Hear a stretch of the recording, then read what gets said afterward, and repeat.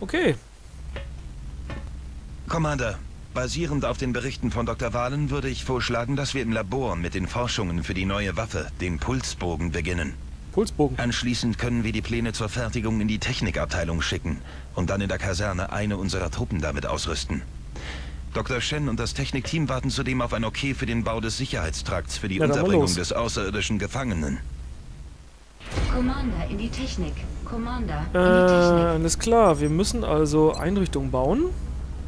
Technik? Geht das hier? Alles klar. Commander, sicher wissen Sie von Dr. Wahlens Anliegen, eines der Aliens gefangen zu nehmen. Ein guter Plan, aber leider hat sie nicht Sehr bedacht, viel dass wir Gesabbel in diesem Spiel, Einrichtung ich besitzen, um ein lebendes Exemplar festzuhalten. Mit Ihrer Erlaubnis werden mein Team und ich mit dem Bau beginnen. Alles klar, du hast die Erlaubnis. Äh, Einrichtungen bauen. Satellitenkontrollsystem. Sind wir immer noch im Tutorial? Das ist ja fürchterlich. Einrichtungen bauen. Äh, Sicherheitstrakt Priorität. Bau beginnen. Danke, Dann mach mal. Ich melde mich, sobald die Einrichtung fertig ist. Das ist schön. Dr. Wahlen möchte Sie sprechen, Commander. Immer noch. Zweifellos möchte sie Ihnen Ihren Plan Leute, äh, persönlich wir sind erklären. im Krieg. Ich hetze sie von einer Besprechung in die nächsten. Commander in die Forschungslabore.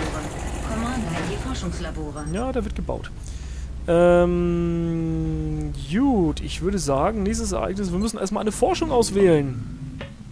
Commander, sicher wurden Sie bereits über meine Anfrage unterrichtet. Mit Ihrer Erlaubnis können wir sofort mit der Forschung am Pulsbogen beginnen. Na dann mal los.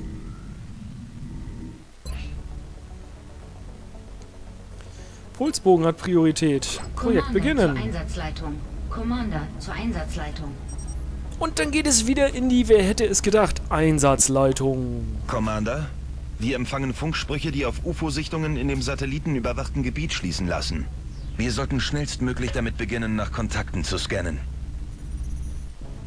Will ich jetzt aber. Will ich doch gar nicht. Ich will doch erstmal. Genau. Sehr schön.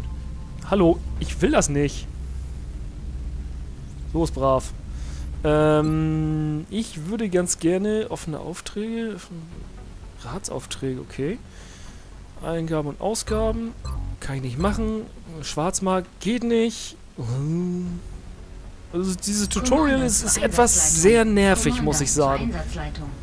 Das geht A viel zu lange und äh, ich würde ge- gerne auch ein bisschen was anderes mal zwischendurch machen und nicht immer alles vorgesetzt bekommen hier. Naja, jedenfalls, was ist das hier unten? Das ist, ist der Ratsaal? Und was ist, was ist, was ist das hier? Also wieso kann ich da nicht klicken, verdammt? Das ist das. Baue, kaufe Gegenstände. Was haben wir denn hier so Schönes? Äh, Medikit brauchen wir. Da hätte ich ganz gerne zwei Stück von. Auftrag erteilen und herstellen. Projektdauer sofort fertig. Alles klar. Dann würde ich dann nämlich ganz gerne in der Kaserne... Commander zur Einsatzleitung. Ich will jetzt aber in die Kaserne. Das nervt. So. Scan doch mal nach Aktivität, wenn du das unbedingt möchtest. Wenn ich das das nächste Mal starte ohne Tutorial. Anscheinend zahlt sich der neue Oh, wir haben UFO. aus. Wir empfangen Signale eines schnellen UFOs. Wenn wir einen Abfangjäger losschicken, können wir es vielleicht abschießen. Na dann mal los. Abfangjäger starten. Äh, klicken zum Jägerstart.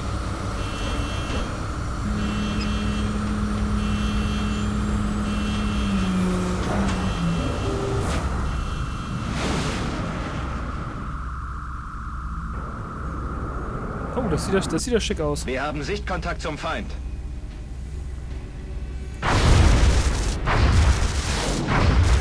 Oh, verdammt.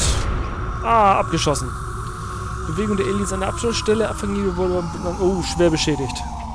Bericht verlassen. Zentrale, hier ist Voodoo 37. Bestätige Abschuss von Boogie 001. Ich wiederhole, das UFO ist abgestürzt. Verstanden? Verstanden, Voodoo 37. Gute Arbeit. Central Out. Also gut, Leute. Rekalibriert Satellit Bravo und zeigt mir ein Bild der Absturzstelle. Sie kommt jetzt in Sicht, Sir. Auf den Schirm. Vergrößern. Da sieht man nicht allzu viel. Es ist unbeschädigt. Commander, wir sollten sofort ein Angriffsteam zur Absturzstelle schicken. Na dann mal los.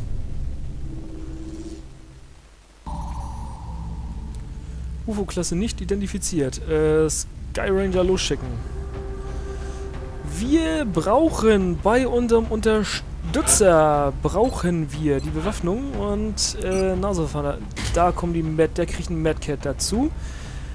Das wird jetzt nämlich unser Feldarzt werden. Und was können wir dann da noch so schön machen? Ähm, Vorname, Nachname, Rüstungsfarbe, was kann man da so schon lassen? Das ist wieder auch recht grün.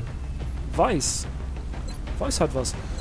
Ähm, Rüstungsdekor.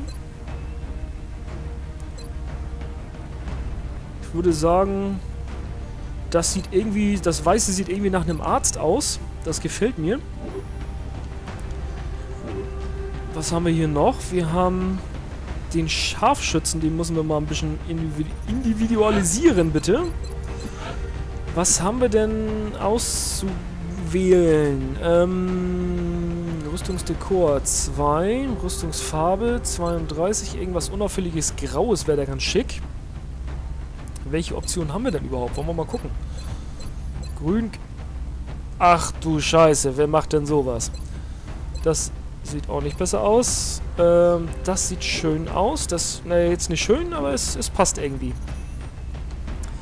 Schwer. Bearbeiten. Was können wir dir denn so Schönes machen? Rüstungsfarbe 32. Ähm... Boah, da sind ja Farben beide. Ja, sicher. Ähm... Das sieht gut aus und ihn würde ich sagen, lassen wir so. Dann haben wir da ein bisschen einen schicken Mix drinne. Und dann würde ich sagen, wir starten den Einsatz.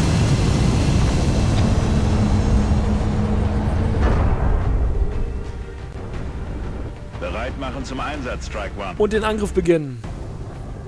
Unser Zielgebiet liegt nahe der deutschen Grenze.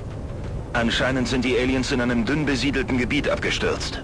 Sollte es dort Zivilisten geben, halten sie sich hoffentlich fern. Weitere Schaden am UFO vermeiden. Okay.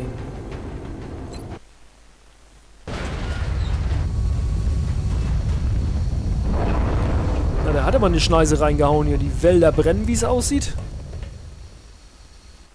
Hier spricht Big Sky. Wir sind jetzt nördlich der Absturzstelle. Strike One ist in Angriffsposition. Verstanden, Big Sky. Wir überwachen diese Signale von hier aus. Strike One hat die Erlaubnis, das Alien-Raumschiff zu stürmen. Gut, dann wollen wir doch mal stürmen eine Runde. Stürmen wir die Burg. Die Absturzstelle scheint direkt dort vorne zu sein. Wir sollten mit heftigem Widerstand rechnen. Schließlich wissen wir nicht, wie viele an Bord waren. Ja, das denke ich auch. vorsichtig dem Ähm, Raumschiff und versucht es zu stürmen. Du bist also die Unterstützung. Du wirst hinten bleiben etwas. Den Stürmer schicken wir mal nach hier vorne.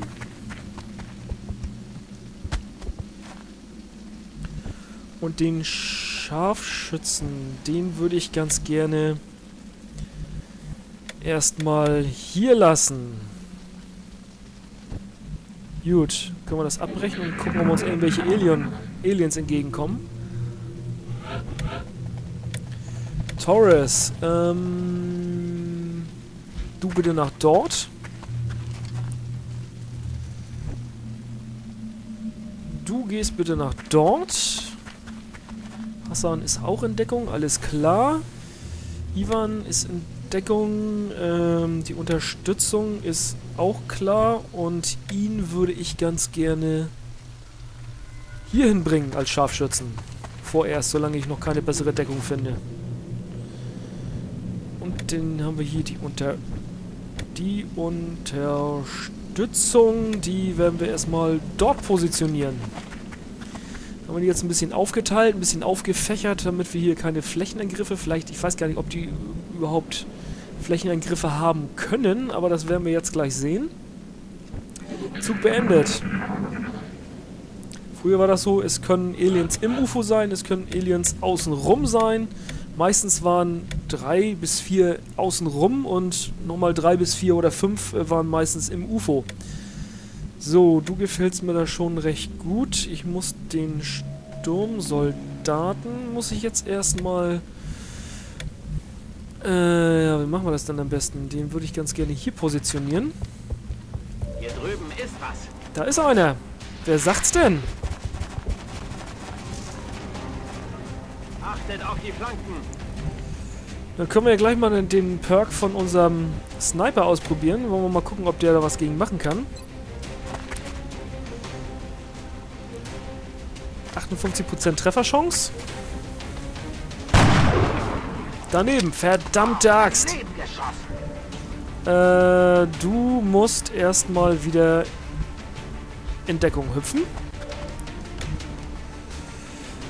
Und du wirst dort bleiben bis auf weiteres und den Feldposten beziehen. Dich hätte ich gerne nach dort geschickt. Da bist du nämlich halbwegs in Sicherheit. So, weiter geht's.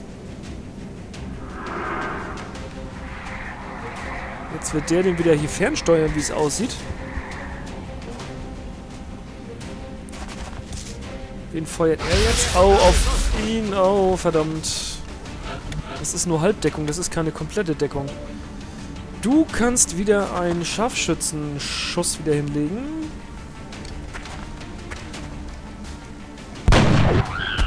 Den ersten haben wir. Sehr schön. Und du bleibst dort drin und beziehst den Feldposten. So. Das haben wir fertig. Jetzt muss er mal etwas vorrücken, bitte.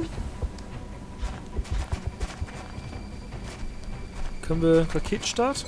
Geht das? 90% Trefferchance. Ähm. Etwas reinzoomen, das nicht geht. Und wir werden den mal dort setzen. Ah, das geht nicht, verdammt. Also müssen wir mit der MG arbeiten. Wie viel hat der andere Prozent? 28. Nee, der ist schon recht gut. Versuch doch mal zu feuern. Den haben wir erlegt. Das ist gut. Gut zu wissen, dass das keine äh, Bedrohung mehr ist. Du musst mal einmal bitte vorrücken. Besten Dank. Jetzt sind die Aliens dran.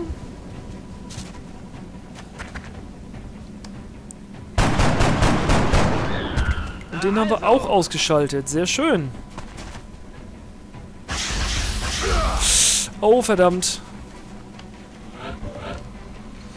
Torres, du wirst mit der leichten MG... Nein. Torres. Leichte MG feuern auf die 28% hier. Nee, machen wir anders. Wir versuchen uns mit unserem Scharfschützen, der einen Präzisionsschuss bitte setzt, auf diesen. Und ihn erlegt. Sehr schön, haben wir das auch.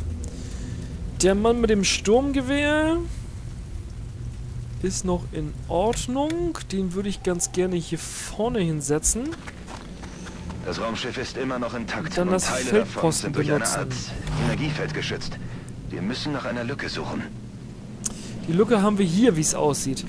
Ähm, Schrotflinte, du wirst nochmal mit hier nach hier spurten, bitte.